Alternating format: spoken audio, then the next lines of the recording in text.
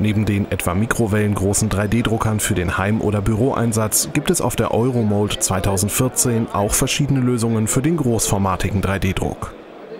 Wir sind ein Berliner Unternehmen, was großformatige 3D-Drucker herstellt, im sogenannten FDM-Verfahren. Unser großes Ziel ist es, großformatigen Druck für viele Kunden erschwinglich zu machen. Bisher war eigentlich die Technologie nur großen Konzernen vorbehalten. Eine Maschine hat bisher ungefähr 500.000 Euro gekostet und dadurch ist natürlich auch ein Druck extrem teuer. Was wir heute machen ist, wir bieten Maschinen ab 36.000 Euro an, die können 1,3 Kubikmeter groß drucken. Und das machen die mit einem Kunststoff, der auch sehr günstig ist. Und so geht mittlerweile großformatiger Druck für wenige hundert Euro äh, pro Objekt. Und es äh, wird im Moment sehr stark nachgefragt von Designern, Architekten, ähm, Formenbauern. Das machen wir auch. Ähm, und darüber hinaus viele große Industriekonzerne, die bereits Erfahrung haben mit den teuren Maschinen, die sagen, wir wollen auch eine günstigere Lösung und die haben wir hiermit gefunden. Unser Druckbereich ist 1 Meter mal 1 Meter mal 1,20 Meter hoch. Wir können so fein drucken wie alle kleinen Drucker auch, also wir können bis 100 Mikron runtergehen. Macht bei großen Objekten im Moment noch nicht so viel Sinn, weil dann der Druck dementsprechend länger dauert. Also bei uns, unsere Maschine kann 24 Stunden am Tag laufen. Es ist auch so, dass ein großer Druck bis zu mehrere Tage dauern kann. Das macht's aber nicht, macht aber nichts. Die Maschinen sind so gebaut, dass sie tatsächlich Tag und Nacht laufen können. Also ein großer Stuhl oder ein Tisch in Originalgröße kann mal drei, vier Tage auch drucken. Wir benutzen ein PLA, das ist ein biologisch abbaubarer Kunststoff. Wir können aber auch andere Kunststoffe verdrucken. Wir finden, dass es gibt auch ABS, wird sehr viel verwendet. ABS hat aber giftige Dämpfe und wir empfehlen auf unserer Maschine eigentlich PLA zu drucken im Moment. Ähm, ja, hier haben wir uns mal was ausgedacht und zwar, man kann natürlich nicht nur Endprojekte oder Endobjekte drucken mit dem Drucker, die dann so verwendet werden, sondern man kann sich auch Formen bauen. Wir haben hier eine Kunststoffvase gedruckt. Diese Kunststoffvase haben wir dann in einen äh, Tonabdruck oder haben Tonabdruck davon machen lassen.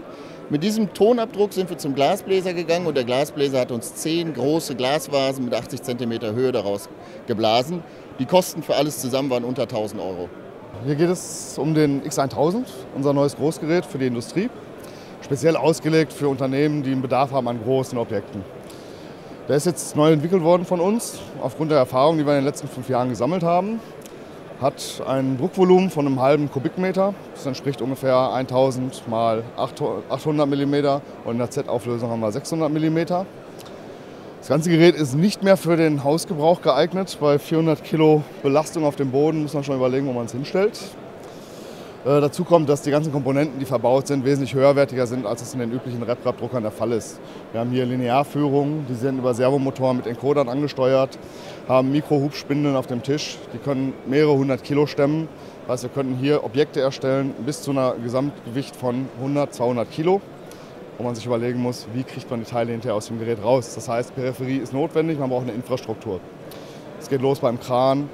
Der Stromanschluss ist das kleinste Problem. Das Gerät arbeitet mit 230 Volt, hat ungefähr eine Leistungsaufnahme von 200 Watt. Verarbeitet aktuell PLA.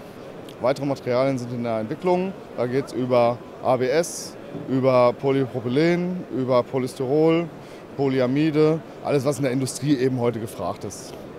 Das Gerät ist relativ kostengünstig. Als Einstieg in den Großraum-Prototyping-Bereich fängt an bei 28.500 Euro und dann hängt es von der Ausstattung ab. Ein Druckkopf, zwei Druckkopf, drei Druckköpfe, beheiztes Druckbett, irgendwelche Ablufteinheiten, was immer der Kunde letzten Endes in seiner betrieblichen Umgebung vorschreibt. Natürlich können auch manche Geräte der etablierten großen 3D-Druckerhersteller groß drucken. Der Pro X 950 verfestigt mittels Laserstrahlen lichtempfindliches flüssiges Kunstharz. So entstehen Schicht für Schicht Objekte bis zu einer Größe von 150 x 75 x 55 cm. Die Schichten sind dabei zwischen 0,05 mm und 0,15 mm dünn. Die Fertigung eines Prototypen für ein Autoarmaturenbrett dauert damit etwa zwei Tage.